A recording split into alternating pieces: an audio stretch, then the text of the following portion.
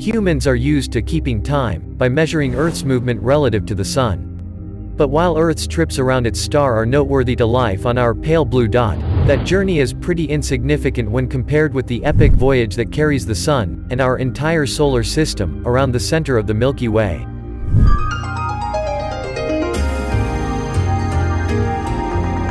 Orbiting the Milky Way galaxy just once takes the Sun approximately 220 million to 230 million Earth years. In other words, if we were to measure time by this galactic clock, Earth would be about 16 years old, in galactic the Sun would have formed about 20 years ago, and the universe would be just about 60 years old. The solar system's journey around the galaxy resembles Earth's orbit around the Sun. But rather than orbiting a star, the Sun circles the supermassive black hole that lies at the center of the Milky Way.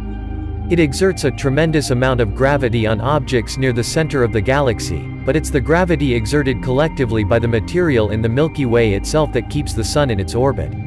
The Sun is moving with enough speed, about 230 kilometers a second, about the equivalent of 500,000 miles per hour, that it continues to revolve around the center of the galaxy in sort of a circle, instead of getting pulled toward the black hole. Compared with an Earth year, a galactic year represents time on a grand scale, but it's not a consistent measurement across the galaxy. What we Earthlings call a galactic year is specific to Earth's place in the Milky Way spiral. We would say that a galactic year is 220, 230 million years. Other stars in the galaxy, their galactic year is different.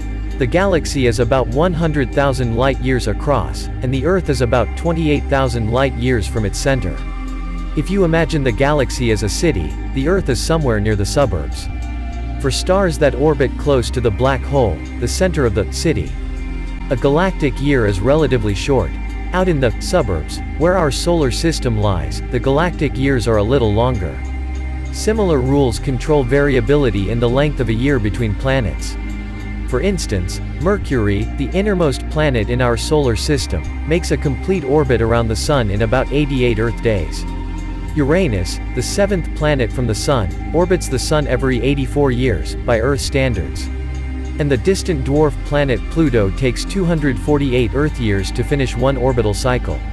While the physics of planetary orbits are similar to the mechanisms that shape the orbit of our solar system around the Milky Way, it's worth asking how astronomers have figured out the span of a galactic year.